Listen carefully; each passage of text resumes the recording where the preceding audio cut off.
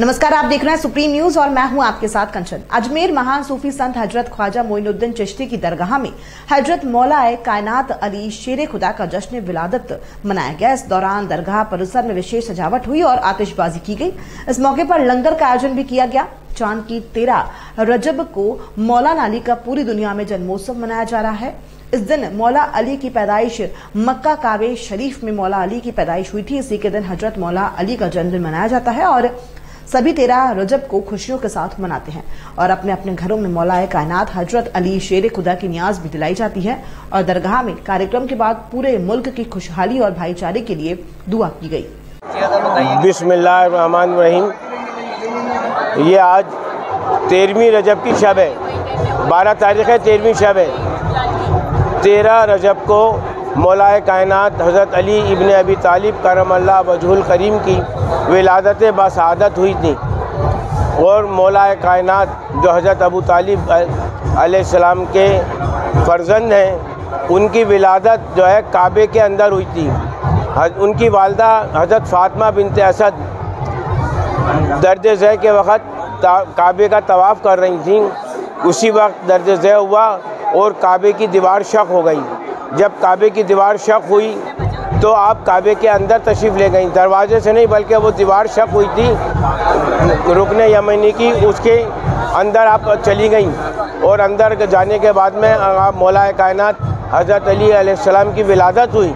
और आपकी विलादत के बाद जो काबा शक हुआ था, उस वक्त जो काबा शक हुआ था, उसका निशान अभी तलक है।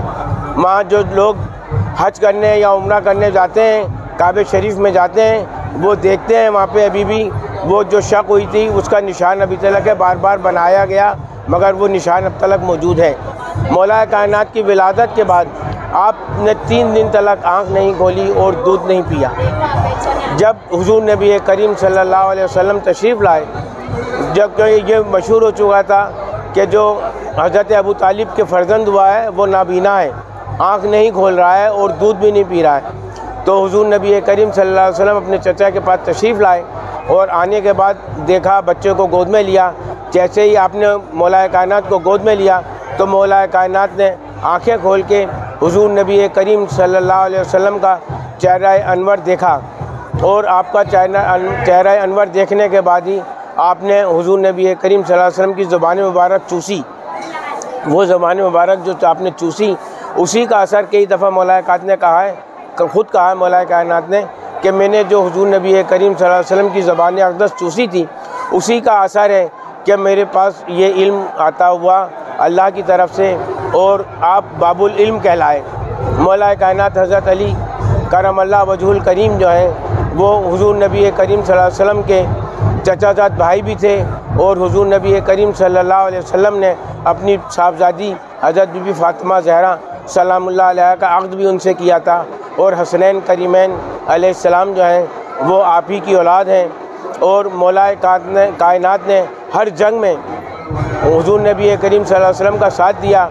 और हज़रत के दिन जब वसलम हिजरत के लिए तशरीफ़ ले गए, और कुफार काबा ने आपके मकान मकान को चारों तरफ़ से घेर रखा था कि जब आप सोएँगे तो इनको शहीद कर दिया जाएगा।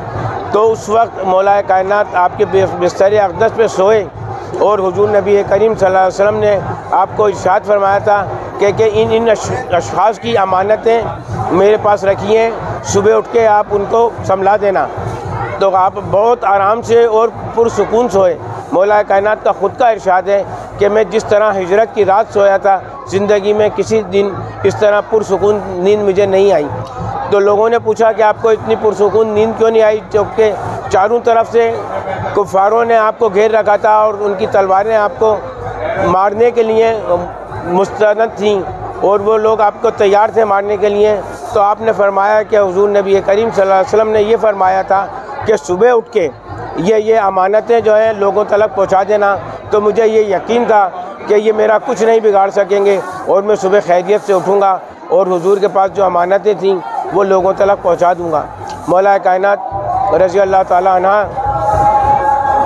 जब चौथे खलीफा बने तो आपने ये फरमाया था कि तीनों खलफाओं ने मुझसे, तीनों खलफाओं ने मुझसे मशवरा करके हुकूमत की थी मगर अब मेरे पास कोई ऐसा मशवरा देने वाला नहीं है जैसा मैंने उनको दिया था। इसलिए खलफिशार हो रहा है।